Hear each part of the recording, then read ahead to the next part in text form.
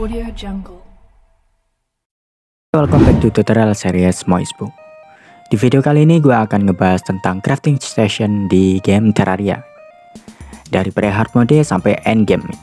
Gue nanti cuma akan memberikan sedikit penjelasan aja dan bagaimana cara craftingnya atau cara mendapatkannya. Jadi soalnya ini crafting table di Terraria itu ada banyak banget yaitu ada 44 jenis crafting station jadi gue nggak akan bisa jelasin buat rincinya ya.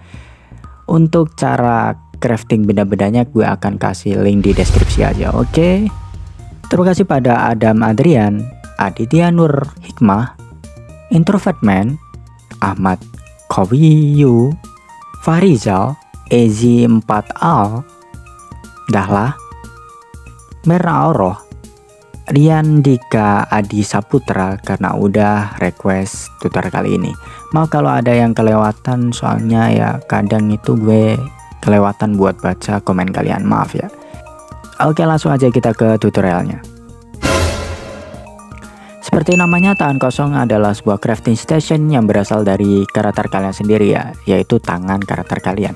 Dengan tangan kosong kalian bisa membuat alat-alat yang basic aja ya. Jadi, pertama kali main kalian bisa langsung crafting dengan tangan kosong kalian. Workbench adalah crafting table kedua yang bisa kalian dapetin dalam game Terraria. Total ada 34 jenis workbench yang sebenarnya mirip-mirip aja.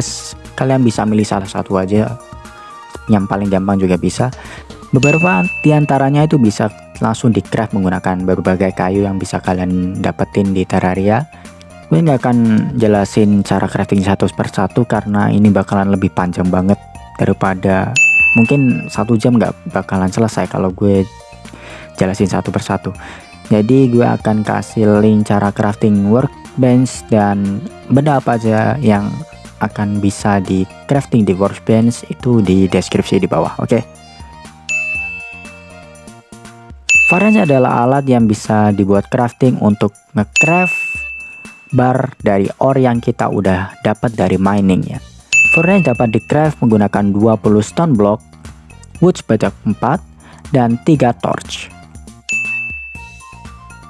Hellfork adalah sebuah upgrade dari Furnace yang tadi ya. Kalian bisa mendapatkan Hellfast di rumah-rumah di Underworld, jadi ini nggak didapetin secara crafting tapi ngambil dari Hell atau Underworld.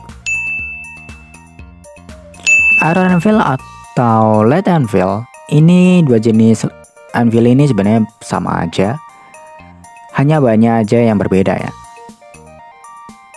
Anvil adalah alat yang bisa digunakan untuk membuat armor atau weapon. Dua anvil ini adalah anvil yang basic.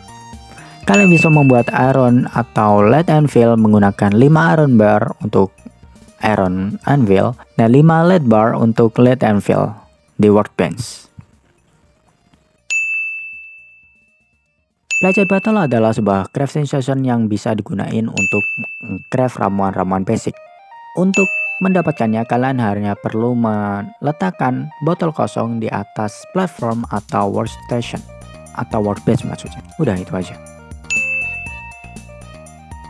Alchemy Table adalah sebuah upgrade dari Pledged Bottle.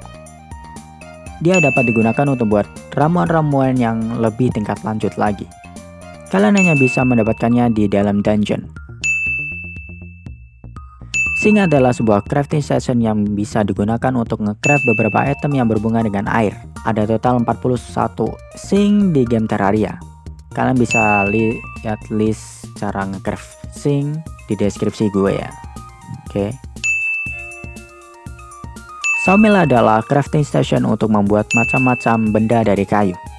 Kalian bisa mengcraft sawmill menggunakan 10 wood, 2 iron atau lead bar, dan satu chain di workbench.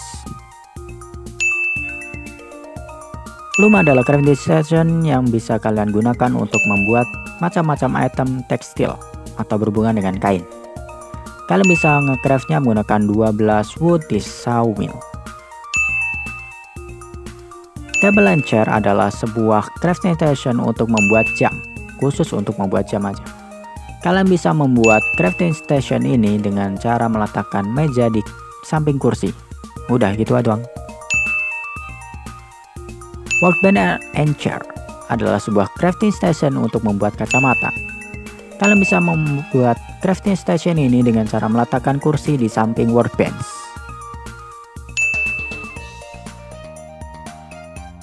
Cooking pot and cauldron adalah dua crafting station yang digunakan untuk membuat makanan.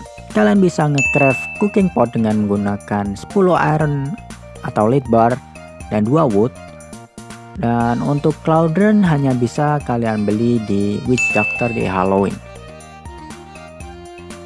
Immune Station adalah crafting station yang dapat digunakan untuk membuat berbagai macam flex. Untuk penjelasan flex mungkin akan gue jadiin di video terpisah jika kalian mau. Kalian bisa tulis saja komen di bawah buat pembahasan flex. Untuk game session kalian bisa membelinya dari Witch Doctor juga. Good job!